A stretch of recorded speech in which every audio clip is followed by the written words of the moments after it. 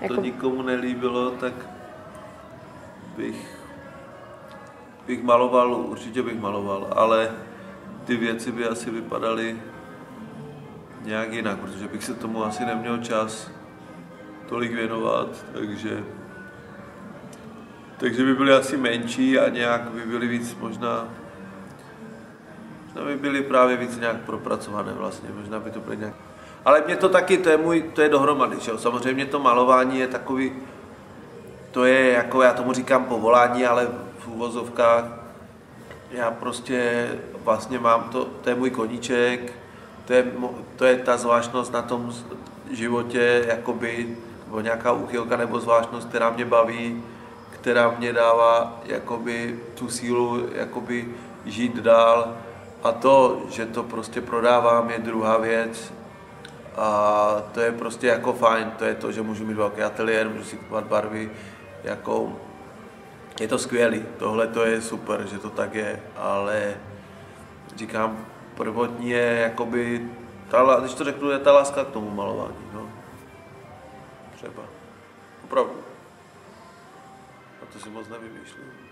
Ono je vždycky těžký, já nejsem konceptuální uměně, umělec a bavit se vlastně o tom obraze, ten člověk může občas, jako mu někdo poradí, přidej tam víc černé, tam uber černé, tam možná víc, tam možná míň, ale když se vlastně vymyslelo to téma, tak už potom se o tom nedalo moc, moc diskutovat. Já, ty moje věci jsou o té malbě samotné, takže já vždycky prostě musím nějak přijít na to, nebo s pomocí jako různých se ptám taky různých lidí, jestli, kdy je to vlastně hotové, tam je ten, to je ta otázka vždycky, kdy je ten obraz. Já jsem chtěl být na konceptuál, konceptuálních ateliérech právě proto, že jsme se o tom bavili. Já jsem o tom jako moc mluvit neuměl, ale já jsem měl takový, jako by se dalo říct, svůj styl, nebo tak nějak podobně už maluju 20 let a přišlo mi, kdybych šel do malířského ateliéru, takže bych, že bych v podstatě mohl, jestli maluju doma nebo na škole, že to je jedno, tak mě,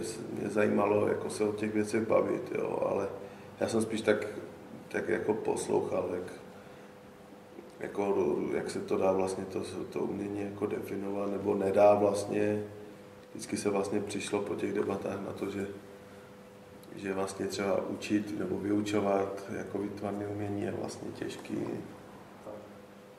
Jako někdyž prostě jako pět lidí pochválí, tak, tak to není pro mě zase důvod, že bych se na to mohl jako vykašlat a nic nedělat, ale to je taková ta nervozita z toho, že tě někdo pochválí to očekávání těch druhých. No. Tak člověk pak může být nervózní, že se od něho očekávají, jakoby, jo, že se čeká další série, zase to bude něco super a zase to bude něco super, ale to si člověk nesmí, nesmí při, připouštět, musí si to nějak, jako musí v prvé řadě s tím asi být nějak spokojený sám, sám jakoby s tou prací. Hmm. Jo, já přesně, jako ne, stejně nakonec já dobře vím, kde, které věci jsem nějak trošku jako ošidil a které věci jsem dělal na 100% a kde by to mohlo být ještě jinak a to už je jako moje svědomí a s tím, s tím už se potom musím nějak vypořádat sám.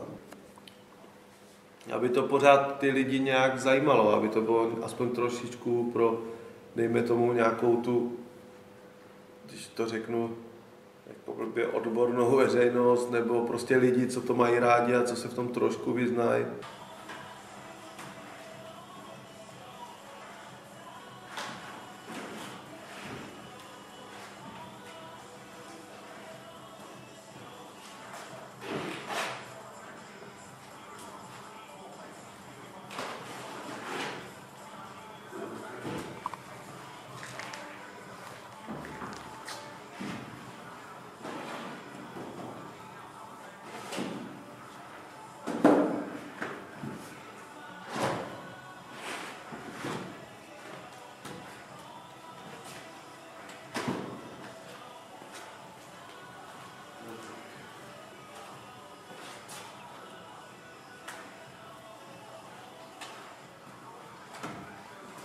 Který se ti zdají? Ty dva, jo? Z těch části dole. Mhm. Ta s těma zlatýma vlasama ještě víc. Tahle. Hmm. Tak to jsem rád, protože já taky